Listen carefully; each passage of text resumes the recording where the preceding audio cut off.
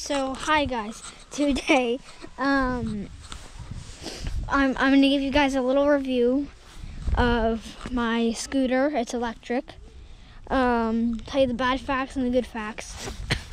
So this scooter the one we're gonna, that we're gonna, that, that we're gonna look at today.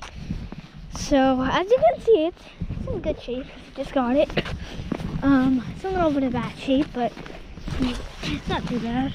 Back things. So the we're gonna go over the good things about the scooter right now. The good things are is when you um so to well, well first we're gonna go over how to use it. To use it, basically what you're gonna do is this little switch. It's on right now. I'm gonna turn that off for a minute. Now, how to use it is you're gonna do this. Is you're gonna basically get on it, right? Put, the kickstand up. Then you're gonna start pedaling, and then it will start taking off. And then it will start taking off. So that's how you kind of use it. And to also use it, you press down this when you start um, going forward. So you start scooting like a regular scooter, and then you'll start taking off once you press that down and you're ready. Now, when you use this, always turn that off because it only lasts for a little while.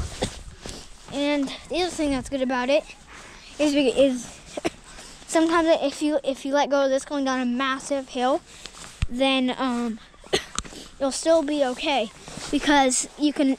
That that's a regular brake that you would see on a regular scooter, and then here's the motor that controls it. So that's kind of how it works, and that's the good stuff. So I'm pretty happy about it. And the other good thing is about it is that it's very comfortable. It's very fast and comfortable. It's fun. You just have to wear a helmet because it will get and yeah, you you'll hurt. So the bad things now. The bad things. There's some bad things. Yes. The bad thing is, it. There's only one bad thing about it. The bad thing is is that it only lasts for 40 minutes constantly. So that's the only bad thing. But other than that, this scooter is really good. Very nice. So that is going to end today's video.